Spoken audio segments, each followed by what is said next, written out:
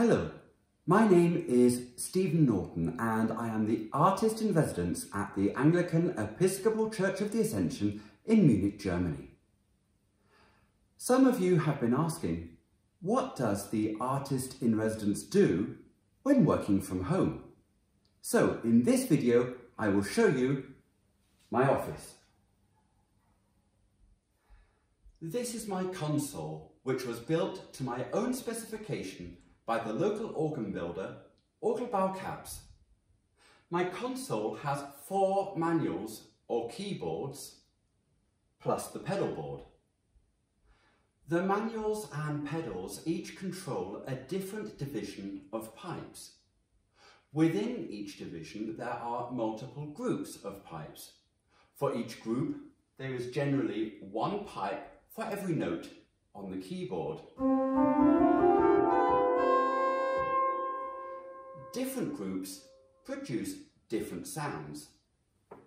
Some pipes work like a recorder.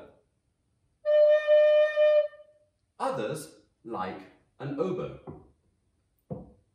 A thin pipe sounds stringy. A fat pipe sounds more fluty. Made of tin or zinc has a strong, clear tone. A pipe made of lead is more gentle. And a pipe made of wood is mellow.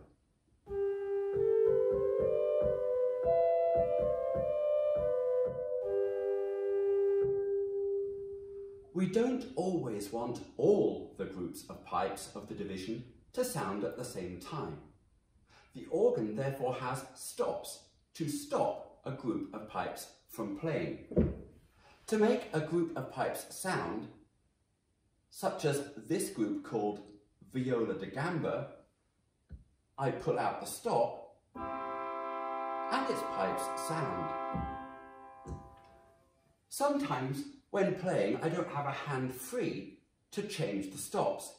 In that case, I can use a finger or a thumb or a foot to press one of these pistons which change the stops for me.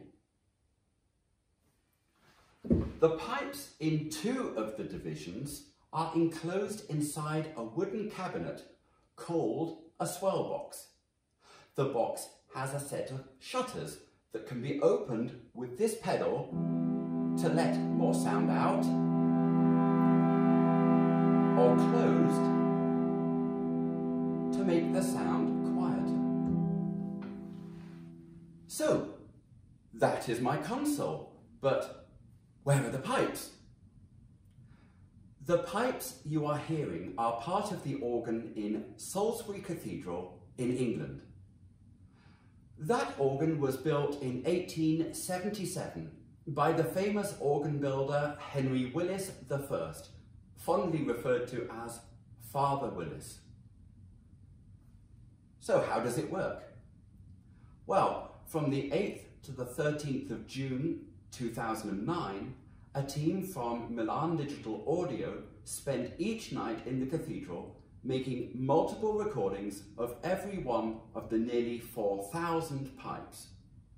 When I draw a stop and press a key, you are hearing an audio recording of the relevant pipe.